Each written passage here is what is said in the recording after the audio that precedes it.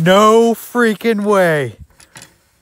So a few videos back, I maybe hinted at swapping a 72 volt battery into our Tuttio Soleil 01 electric pit bike. I did do a little bit of research and guys, I think it's possible. Right here, we have a 72 volt lithium battery.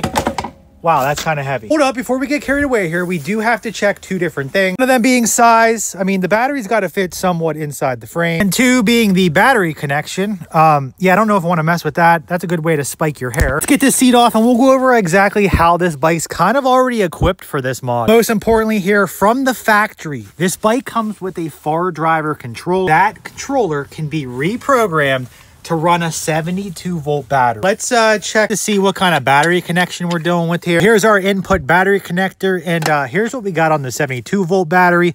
So yeah, we're gonna need to do some jerry rig. Now this is the scary part. Is it going to fit? Wait, no freaking way. Dude, 72 volts, baby.